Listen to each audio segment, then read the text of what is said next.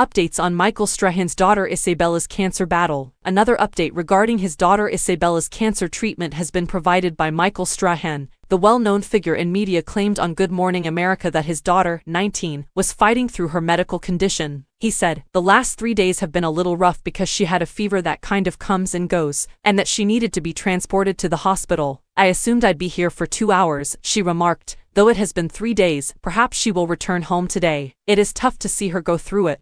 But I know she's a tough young lady and she's going to make it through, Strahan said. Isabella talked about her feelings on returning home in a video that was posted on GMA and came from her YouTube page. She remarked, I like being at home, but I don't mind the hospital too much because I feel safe there. Today, I plan to go for a stroll, perhaps stretch, increase my water intake, and eat. The host of GMA added that his daughter's spirits have been lifted by the public documentation of her medical journey on her YouTube channel. I believe that a lot of people have reached out to her and said, thank you so much for doing this, it has really helped us, he added, and she's been in a really good place because of all the support she's receiving from people she doesn't know in addition to those who do. Isabella was diagnosed with medulloblastoma last autumn shortly after starting classes at USC, and she underwent emergency surgery to remove it, not long after she started courses at USC last autumn. During a tearful appearance on GMA in January, she expressed her excitement for the process to come to an end. She and her family celebrated the end of her radiation therapy shortly after that.